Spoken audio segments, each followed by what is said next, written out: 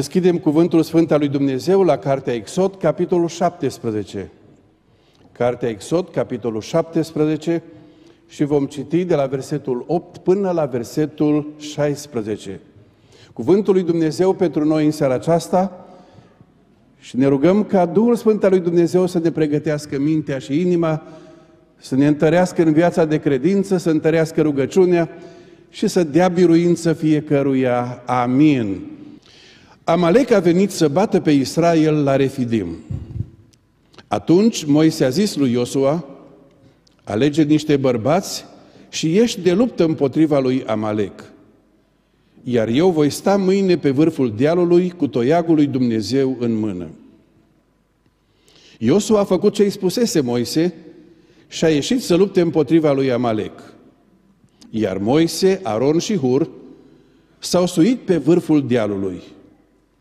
Când își ridica Moise mâna, era mai tare Israel. Și când își lăsa mâna în jos, era mai tare Amalek.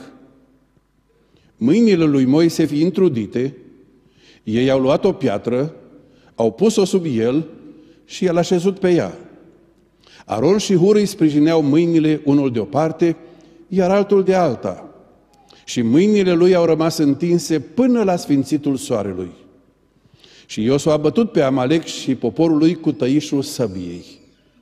Domnul a zis lui Moise, scrie lucrul acesta în carte ca să se păstreze aducerea aminte și spune lui Iosua că voi șterge pomenirea lui Amalek de sub ceruri. Moise a zidit un altar și i-a pus numele Domnul steagul meu. El a zis, pentru că și-a ridicat mâna împotriva scaunului de domnie al Domnului, Domnul va purta război împotriva lui Amalek din neam în neam. Amin. Azi dimineață când fratele Dor a vorbit despre credința mântuitoare și mărturia convingătoare și ne-a povestit experiențele dânsului de pe malul mării. Mi-am adus aminte că prima mea întâlnire cu dânsul a fost la malul mării. Trebuia să vină să mă caute, nu ne întâlnisem până atunci, nu ne știam prea bine, să semnăm un memoriu adresat autorităților din vremea aceea și să cerem libertăți religioase pentru biserici, pentru copiii în școli, pentru oameni la locurile de muncă. Și fratele Doru ne spunea că în vremea aceea pe plajă oamenii erau îmbrăcați altfel decât astăzi. Și dânsul era îmbrăcat altfel. Nu o să vă vine să credeți, a venit în costum și cravată să mă caute pe plajă. Era ușor să-l descoperim cine este dânsul. Așa a început o vreme de părtășie și de colaborare și cu trecerea anilor ne-am bucurat de Harul lui Dumnezeu și de părtășie. Frate Doru, vă aduceți aminte? A fost cel mai decent om pe plajă pe care l-am văzut în viața mea. În seara aceasta vom continua meditația din cuvânt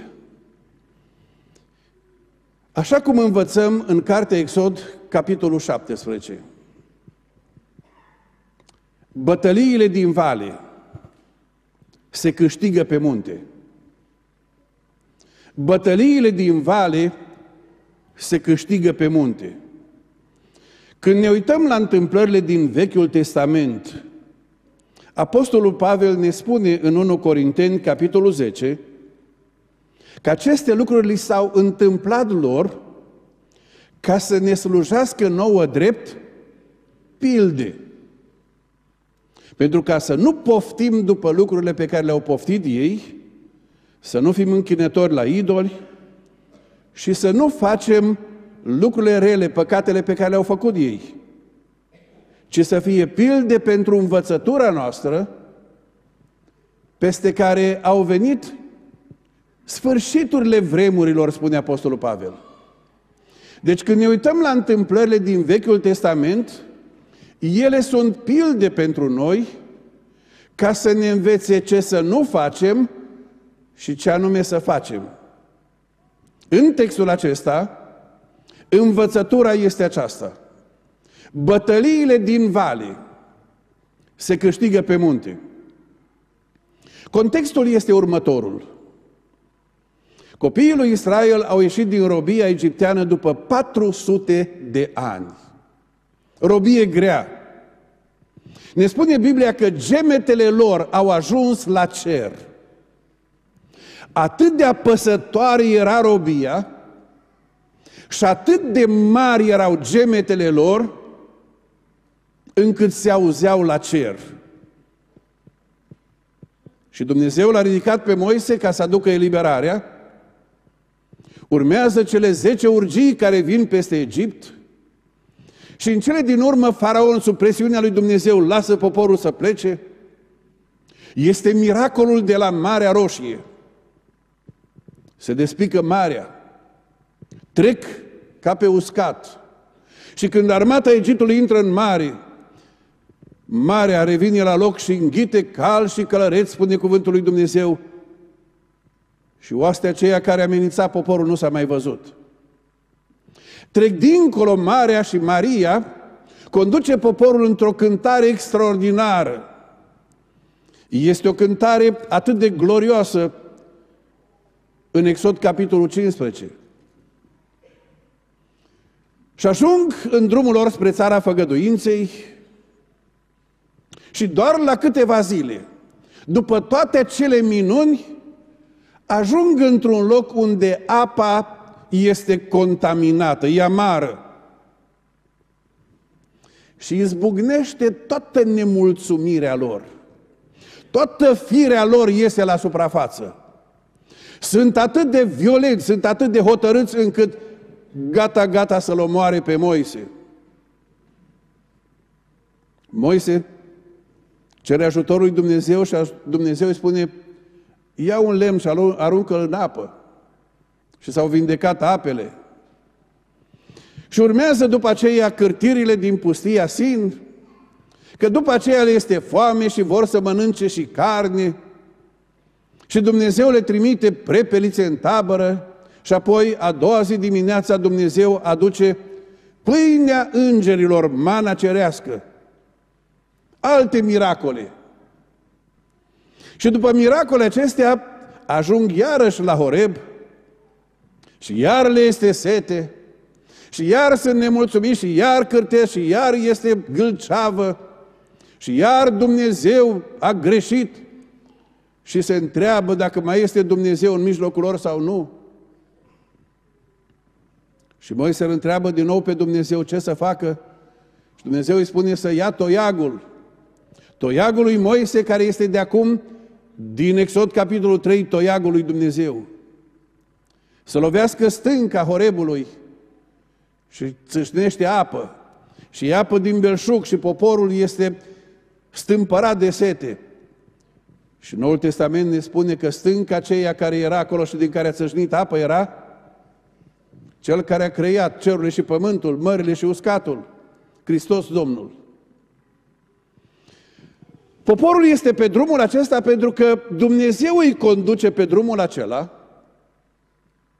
și în Deuteronom, capitolul 8, ne spune cuvântul lui Dumnezeu că motivul pentru care i-a trecut pe acolo a fost ca împrejurările acelea să scoată la suprafață lucrurile ascunse ale inimilor. Altfel spus, nu împrejurările creează acele reacții noi, păcătoase, răzvrătite, cârtiri și nemulțumiri.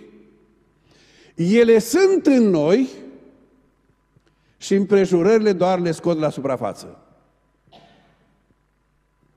Ca să ne apropiem mai mult de noi, o să le întreb pe surori cu rugămintea să nu ridicați mâna. De câte ori ați spus în viața de căsătorie, mă enervezi? Mă enervează soțul, mă enervează copiii. Mă enervează vecinii. De câte ori au spus soții, și vă rog să nu ridicați mâna nici soții, mă enervezi. Numai prezența ta și mă enervează. Biblia spune, nu e adevărat. Nervii sunt în tine. Soțul sau soția doar îi ajută să iasă la suprafață. Ca să îți dai seama că ai nervi în tine. Că problema este în noi, nu în afara noastră. Că sunt acele lupte pe care le avem cu firea noastră păcătoasă și Dumnezeu ne învață din Vechiul Testament că împrejurările doar le scot la suprafață. De ce le scoate Dumnezeu la suprafață?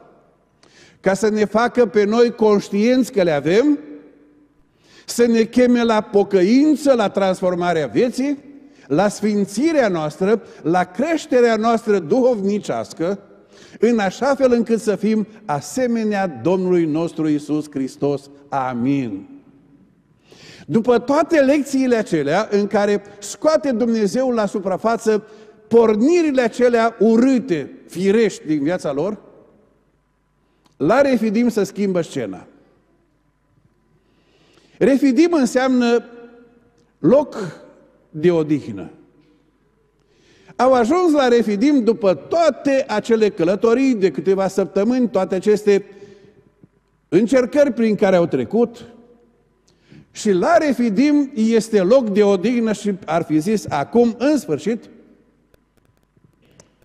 ne odihnim și stăm liniștiți. Probabil că ar suna ceva de felul următor. În sfârșit plecăm în concediu și ne odihnim și în prima zi de concediu vă certați de nu vă mai vorbiți unul cu altul tot concediu. Pentru că apare ceva dintr-o dată.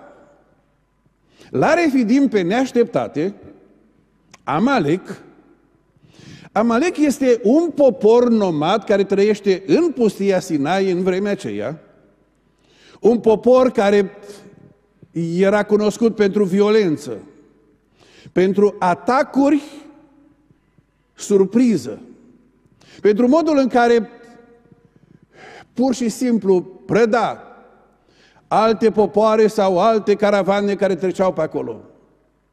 Copiii lui Israel n-au nimic de a face cu ei, nu le-a făcut nimic, nu i-a supărat cu nimic. Ei sunt în călătorie spre țara făgăduinței și dintr-o dată sunt atacați de poporul acesta nomad și în cartea Deuteronom aflăm mai multe detalii. Deuteronom 25, de la versetul 17. Aduți aminte ce ți-a făcut Amalek pe drum la ieșirea voastră din Egipt. Cum te-a întâlnit pe drum și fără nicio teamă de Dumnezeu s-a aruncat asupra ta pe dinapoi, asupra tuturor celor ce se tărau la coadă, când erai obosit și slăit de puteri. Aduți aminte de întâmplarea de la Refidim, spune Domnul poporului. Aduți aminte. Modul în care a procedat Amalek. Nu ai deranjat poporul acesta cu nimic, nu le-ai făcut nimic, n-au avut niciun motiv. Fără teamă de Dumnezeu, fără motiv, s-au năpustit asupra ta, nu atacând din față, atacă pe dinapoi. Atacă pe dinapoi unde sunt, spune cuvântul lui Dumnezeu, cei care sunt slăiți de puteri, obosiți. Sunt cei care au rămas în urmă și abia se târăsc. De acolo atacă. Și când are loc atacul acesta, Moise îl cheamă pe Iosua și spune Iosua, avem un război pe care nu-l mai putem evita. Avem o situație în care atacul este atât de mărșav și atât de periculos încât nu-l putem evita, așa că va trebui să luptăm. Până acum, cei din poporul Israel n-au purtat niciun război pentru că în Egipt nu erau soldați, nici ofițeri, ci erau ce erau? robi cărămidari. Frământau pământ și făceau cărămizi. N-au făcut armată și n-au studiat tehnică militară și n-au studiat strategii de organizare și de bătălie când ești atacat într-un fel sau altul. Dintre toți cei care erau prezenți acolo, unul singur avea pricepere militară. Cine era acela? Moise. Moise a fost crescut la casa lui Faraon și el a învățat toată știința Egiptului. Singurul care era priceput în probleme militare era Moise. Nu Iosua. Iosua devine mai apoi slujitorul lui Moise, dar Iosua până atunci n-a fost în niciun fel de război și n-avea niciun fel de experiență de luptă. Și acum cel mai priceput, singurul priceput, îl cheamă pe Iosua și spune, Iosua, avem războiul la ușă, alegeți tu niște oameni și du-te la război și mâine eu mă duc, mor pe munte. Acum, dacă ai fi fost în locul lui Iosua, ce ai fi spus?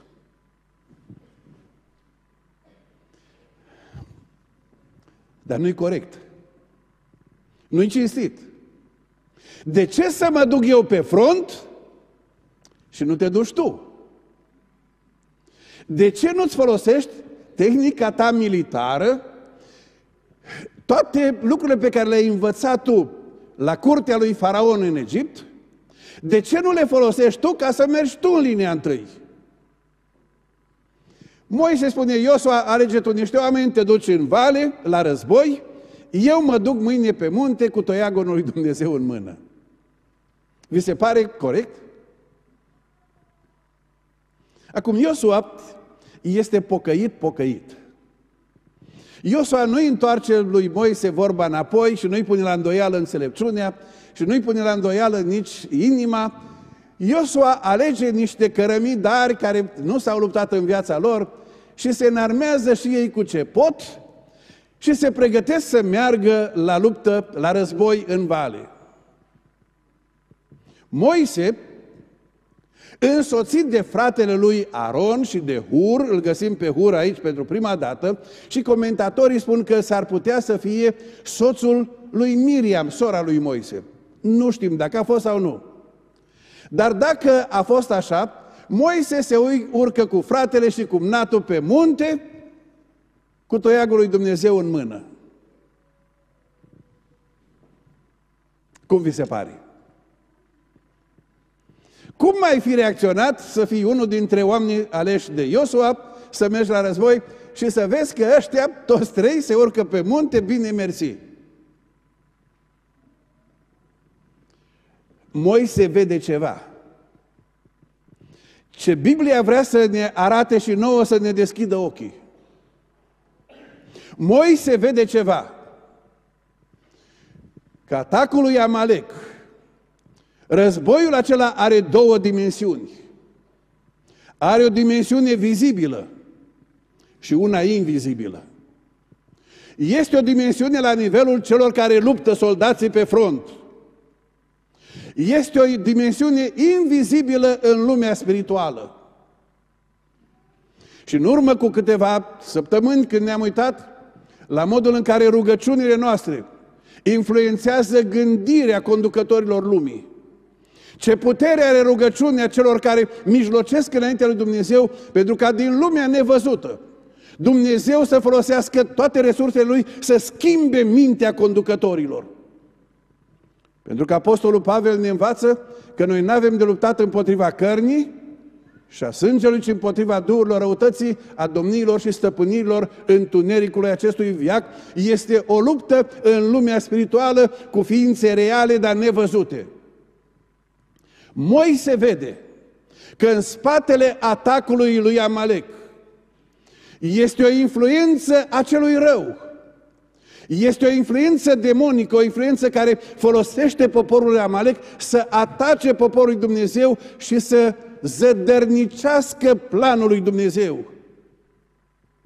Planul lui Dumnezeu se desfășoară în etapele pe care le prezintă Biblia. Mai întâi să ducă poporul în țara făgăduinței, dar nu doar așa ca să-i binecuvinteze pe ei pentru ei, ci să facă din ei un popor misionar pentru toate popoarele lumii. Dar poporul acesta mai poartă cu el. Ceva ce Biblia subliniază din Geneza, capitolul 3, și apoi în Evanghelii este descoperit lucrul acesta. Poartă cu ei promisiunea, sămânța femeii va zdrobi capul șarpelui. Poartă să, cu ei promisiunea mesianică. Este planul lui Dumnezeu pentru mântuire. Aleluia! Amalek, sub influența celui rău, vrea să nimicească poporul acesta și găsim mai târziu în cartea Estera pe Haman, care este un amalecit, care vrea să extermine poporul acesta să nu mai fie pe fața pământului, ca să zădărnicească planul mesianic al lui Dumnezeu. Moise înțelege asta. Moise înțelege că există o lume văzută și o lume nevăzută. Și că bătălia trebuie purtată în amândouă lumile.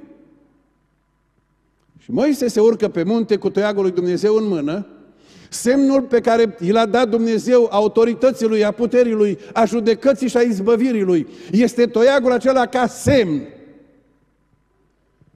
Și începe lupta. Lupta din vale este inegală. Amaleciții sunt mai bine antrenați pentru război și sunt pregătiți pentru război. Iosua cu oștenii lui nu sunt nici antrenați pentru război, nici pricepuți în război. Dar pe câmpul de luptă se întâmplă ceva incredibil. Când Moise ridică mâinile cu toiagul lui Dumnezeu în mână, ce se întâmplă în vale? Ce se întâmplă în vale? Fără explicație militară, fără niciun fel de explicație de tehnică de luptă sau de forțe sporite vizibile. Iosua cu oamenii lui sunt așa de tari încât Amalek dă înapoi. Fără explicație militară fără arme suplimentare și tehnologie de ultimă generație. Dar, v-am mai spus cu o altă ocazie și repet, dacă vreți să faceți experimentul acasă seara asta sau mâine dimineață. Vă rog să ridicați mâinile sus și să vedeți câte minute le puteți ține așa. Ce ziceți? Cam cât timp le-ai putea ține? Ce ziceți? Câți ani are Moise în ziua bătăliei? Câți ani are? 80 de ani. Ok, seniorii bisericii, vă rog să încercați și dumneavoastră. Moise ține mâinile sus și armata lui Iosua are biruințe extraordinare pe câmpul de luptă. Dar după câteva minute te dor mâinile și obosești. Și Moise lasă mâinile. Și se întâmplă ceva pe câmpul de luptă, amaleciții dintr-o dată devin mai puternici, ostașii lui Iosua se moaie, nu mai au vlagă în ei, nu mai pot ține piept. Și amaleciții avansează, câștigă teren. Și Moise ridică din nou mâinile. Și iar se întoarce mersul frontului.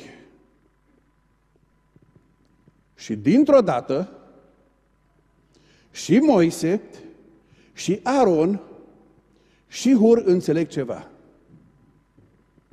Toiagul lui Dumnezeu ridicat în mâinile lui Moise. Nu este magie, nu este o încurajare psihologică, ci este un canal care aduce putere dumnezeiască în vale. Este un canal dumnezeiesc pe care Dumnezeu îl folosește ca să dea puteri și biruință supranaturală în vale. Și Aron și Hur înțeleg că mâinile lui Moise trebuie să rămână sus, neîntrerupt și fac ceva atât de simplu și totuși atât de profund. Ia o piatră Îl așează pe Moise să stea pe piatră. Aron de o parte, Hur de cealaltă parte și ce fac? Îi țin mâinile cu toiagul lui Dumnezeu ridicată spre cer. Până când? Până la asfințitul soarelui. Și în vale se câștigă biruință. În vale este manifestată puterea lui Dumnezeu. În vale este miracol. Dar miracolul acesta are explicația pe munte. Și Biblia spune, astea au fost scrise pentru noi. Au fost scrise pentru Biserica Emanuel. Pentru mine. Pentru tine. În ce bătălii ești implicat? Care este Amalek care te atacă pe tine? Comentatorii Bibliei spun Amalek are trei dimensiuni. Amalek reprezintă firea noastră pământească. Firea aceasta noastră pământească îndreptată mereu înspre lucruri împotriva Duhului lui Dumnezeu. Așa spune Pavel în Galaten, capitolul 5. Duhul poftește împotriva firii și firea împotriva Duhului. Că Amalek poate să fie firea aceea a nervilor mei și a nervilor tăi, a lăcomiei din noi, a pornirilor de un fel sau altul, a păcatelor care ne înfășoară așa de lesne. Și bătălia aceea se dă în valea inimii mele și în valea inimii tale. Ai pierdut bătălia. Ai fost biruit. Ai căzut?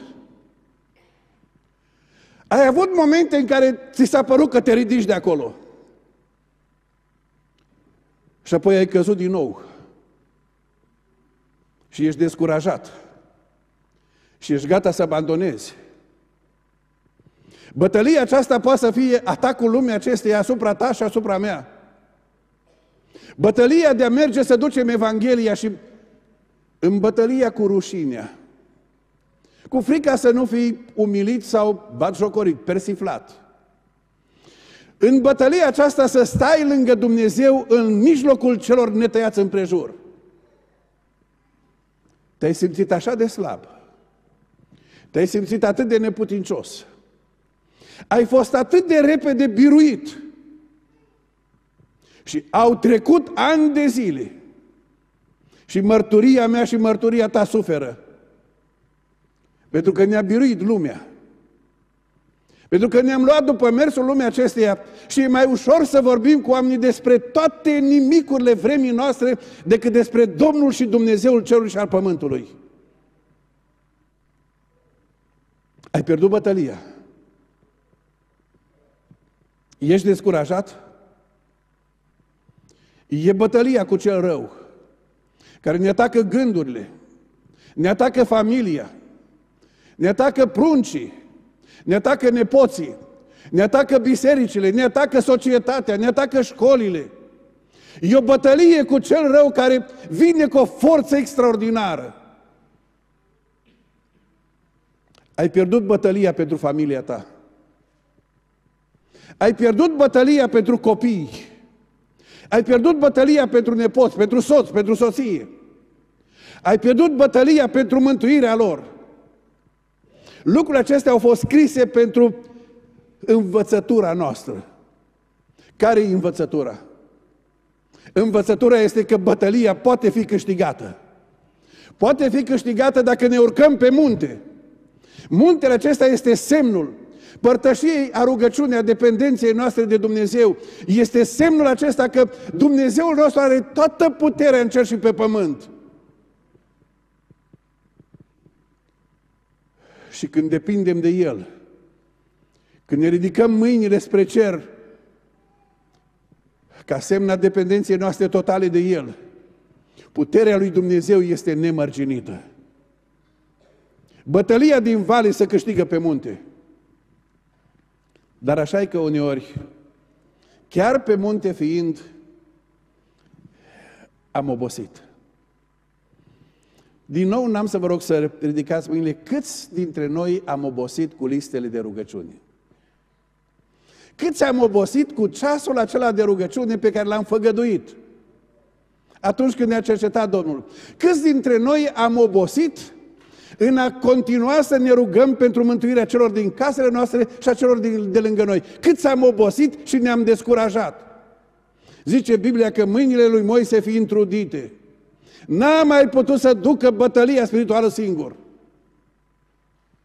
Mai era nevoie de Aron și de Hur. Mai era nevoie de cineva. Mâinile cui le sprijinești ca să fie întărite. De cine îți pasă din biserică? Pentru cine te rogi? Mâinile cui le sprijin ca să rămână sus și Dumnezeu să dea biruință. De cine îți pasă? Îngăduiți-mi să ne amintim câteva lucruri. Câți dintre noi cunoaștem copiii care au fost aduși la binecuvântare aici și am chemat numele Domnului peste ei și împreună cu părinții am spus, Doamne, ne rugăm ca la vremea potrivită să le dai mântuirea Ta. Și acum nici nu mai vor să audă de Dumnezeu și de casa Lui. Câți cunoașteți așa ceva? Mâna sus dacă cunoști. Mulțumesc. Câți cunoaște oameni care s-au botezat? Și au făgăduit că îl vor urma pe Domnul până la moarte. Și au plecat. I-a biruit păcatul. I-a biruit lumea. I-a biruit cei răi, cel rău. Și au fost familii, au fost frați surori care s-au rugat pentru ei și au obosit. Mâinile cui le vei sprijini? Biserica Emanuel are bătălii pentru mântuirea oamenilor. Pentru familiile bisericii, pentru copiii bisericii, pentru bătrânii bisericii, pentru bolnavii bisericii, pentru lucrătorii bisericii. Suntem chemați să ridicăm mâinile să spunem, Doamne, dă putere supranaturală. De cine îți pasă? Pentru că Moise, sprijinit de Aron și de Hur, a rămas cu mâinile ridicate până s-a terminat bătălia. Până s-a terminat bătălia. Biruința aceea a rămas pentru noi, pentru tărirea noastră și Domnul spune, spune lui Iosua, scrie lucrul acesta să rămână ca aducere aminte. Scrie lui Iosua să rămână aducere aminte pentru Biserica Emanuel și pentru bisericile secolului 21. Că biruința din vale se câștigă pe munte. Vă mulțumesc și pentru rugăciunile înălțate, pentru legea educației. Sunt câteva lucruri pe care cu ajutorul lui Dumnezeu le-am câștigat. Dar încă nu s-a terminat bătălia. Mâine dimineață plec iar la București. Alte două zile de bătălie. Vreau să vă spun că și mâinile mele sunt obosite.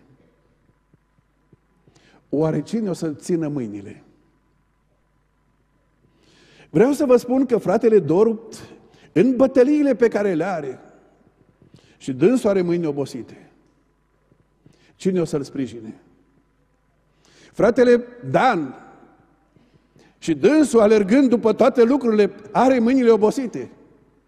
Și fratele Petrică, și dirijorii, și cântăreții, și cei care vin la rugăciune, și ei pot să obosească. Doamne, Tu ești cel care are toată puterea în cer și pe pământ. Ajută Biserica Emanuel să urce pe muntele rugăciunii. Întărește-ne, Doamne, și dă biruință în vale. Dă biruință, Doamne, în mântuirea celor din casele noastre. Biruiește puterea lui Amalek. Și Moise înalță un altar și îi dă nume. Dumnezeu, steagul meu. Mi-e drag de cei care ați făcut armata. Încă o dată mâna sus cei cu armata făcută. Să ne binecuvinteze Domnul să aibă milă de ceilalți. Cei care au făcut armata știu ce înseamnă drapelul de luptă. Știu ce înseamnă să ajungi să câștigi biruința și să pui drapelul ca semn al biruinței. Drapelul lui Moise nu este numele lui, nu este numele lui Iosua, nu este numele celor care au luptat, drapelul lui este Domnul este steagul meu. Doamne, te rugăm să fii steagul Bisericii Emanuel. Biruința noastră este biruința ta și slava este a ta.